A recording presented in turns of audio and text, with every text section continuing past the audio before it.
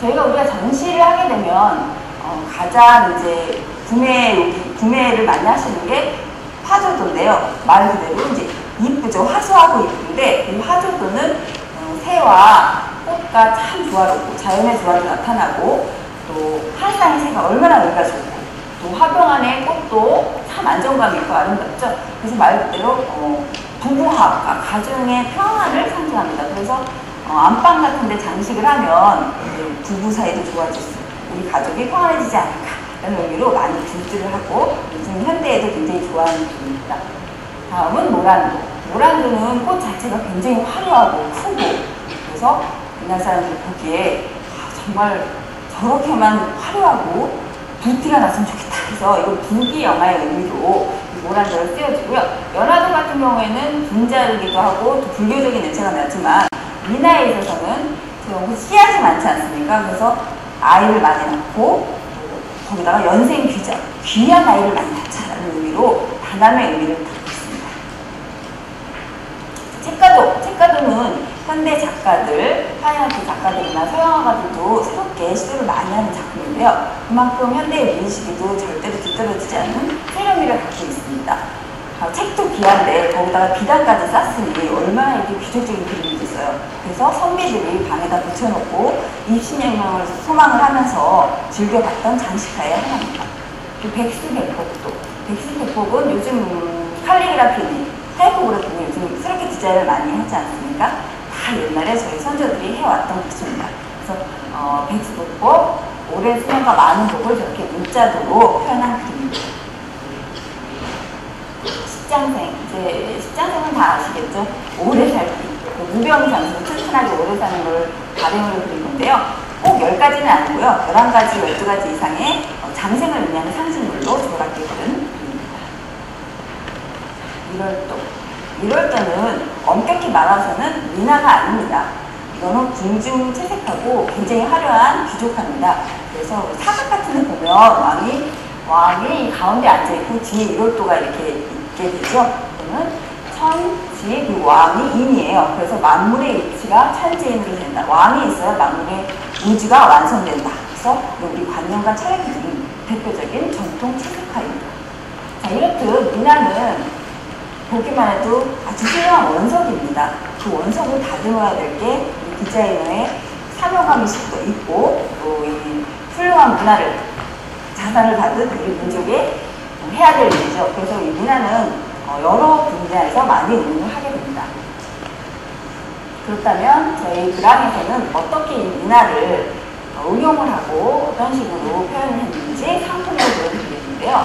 어, 상품을 보여드리기 앞서서 미나 그대로 전통 미나를 배운 입장이지만 전통 미나를 그대로 프린트를 한다든지 복사를 해서 문화상품 만들면 저 아니라 저희 그랑뿐만 아니라 여기 있는 여러분들도 충분히 만드실 수 있으시죠.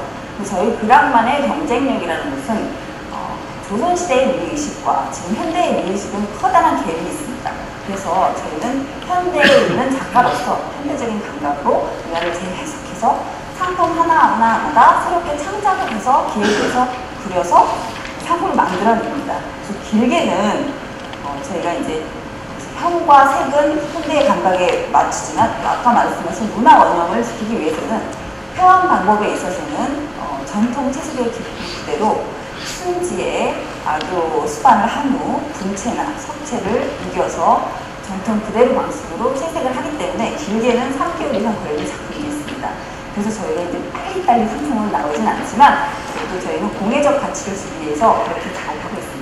그래서 안경 수건이라는 것은요, 음, 아시죠? 안경 닦기. 안경 닦기인데 이게 왜 저희를 처음 아이템을 잡았냐면 음, 사각형이기 때문에 저희 이미지를 보여드리기에도 적당하고 또 여행을 가셨을 때 한 열댓 명 이제 단체로 선물을 돌려야 되는데 천 원짜리 없어요. 오천 원짜리 5만 원 부담돼요. 그러면 한 3천 원짜리 뭐 없을까 했을 때 작년에 열쇠고를 사다 줬는데 주고도 못 먹었어. 나도 안 써. 그럼 뭐가 있을까 해서 제가 기획한 게 3짜리짜리 안경수건이었습니다. 그래서 반응이 괜찮았어요. 그래서 괜찮아서 저희가 자매품 안경집이 나왔었죠. 그래서 안경집도 크고 작고 선택의 폭을 넓혔습니다. 여기서 이제 어, 마케팅과 함께 이렇게 작업을 했는데요. 작게 만들고 돋보기들이 이제 50대, 40대 후반에는 다들 쓰시더라고요. 그래서 이렇게 마련을 했고 큰 거는 이제 선글라스도 넣고 여자들 소품도 넣고 이렇게 기부를 해봤습니다. 그리고 명함 지갑과 여권 지갑. 명함 지갑은 아까 말씀드린 책가도는 입신양양의 뜻이 있겠죠. 그래서 이제 명함은 저희가 이제 사업하시는 이런 분들이 좀더 음, 뭐랄까 귀족스럽게 고급스럽게 이렇게 어, 책가도를 이용해서 품격 있게 디자인해봤고요. 여권 지갑도 이 문화적 감성이 있는 분들이 저희 물건을 택하게 될 만큼 여권을 그냥 비닐 그대로 들고 다니시지 않을 거다 생각하는 스스로 이렇게 만들었고요. 볼펜이랑 다이어리가 같이 들어있어서 굉장히 실용적인 반응이 좋습니다. 스카프. 스카프는 아, 공, 아주 공이 많이 들어간 작업인데요. 아, 스카프가 180cm에 55cm입니다. 요즘은 컴퓨터 툴이 발달해서 10cm만 그려도 그걸 연속해서 쓰면 충분히 그 길이만큼 작, 음, 물건을 만들어낼 수 있는데요. 저희 그랑 작가들은 너무 미련한지라 180cm를 그립니다. 그래서 그대로 그려서 제가 전시를 할 때 원화와 이 스카프를 같이 전시를 합니다. 그래서 아 그랑의 상품은 그냥 막 찍어낸 상품이 아니라 정말 공예적으로 우리의 전통 문화를 살려 애쓰고 있는 그런 애들이 만든 거다 라는 것을 무언의 말로 저희가 전시를 기획하고 일부러도 그렇게 작업을 하고 있습니다. 그래서 잘 안 보이지만 저기 있는 서골도라는 그 작품을 실은 스카프인데요. 그건 아까 말씀드린 그 선생님의 아버님이 저희 민학의 최고의 공목십니다. 그분이 우리나라 최초로 서골도를 소환을 하셨는데요. 그 작품을 실은 어, 스카프입니다. 그래서 저 스카프를 소장을 한 것만으로도 귀한 작품을 소장할 수 있다라는 의미를 있고요. 밑에 보시는 소수건은 어, 기존의 다르 저희 그랑은 좀 더 현대적이고 좀 발랄하죠. 백수백번 머그와 미나탄. 이 머그는 어, 저희가 이제 사연이 있는데요. 어, 원장님이 그 암 환자들이 5년을 지나면 그 암을 극복했다고 이렇게 판정을 내린다고 하십니다. 그래서 5년 암 발병하고 이제 완치를 하고 5년이 된 분들께 어, 저 머그컵을 의미와 함께 이제 선물을 주는데 이 암 환자들이 너무 감동을 하셔고 이제 용기를 얻었다는 말씀을 듣고 어, 저희도 저희 하는 헛된 일이 아니구나라고 저희에게 용기를 주는 상품이라 굉장히 애착이 상품입니다. 그리고 민화 금봉투, 책가도 수첩, 포스트잇 민화 금봉투 같은 얘기는 좀 스토리텔링, 스토리텔링 하는데요. 아까 이제 민화를 설명했을 때 화조도 같은 경우에는 가족의 평안, 부부 화합을 의미한다고 그러지 않습니까? 그럼 화조도 같은 경우에는 이제 결혼식 할 때 새로운 시작을 하는 부부들에게 이제 부조금을 줄 때 이렇게 금봉투에 넣어주고 책가도가 있는 이제 금봉투는 학생들한테 용돈을 줄때 공부 열심히 하라 이런 걸 주고 연하들 같은 경우는 돌잔치나 대리잔치인데 귀한 자식 얻어서 축하하고 또 연이어 계속 너무 귀한 자식을 낳으라는 의미로 또 드리기도 하고 합니다.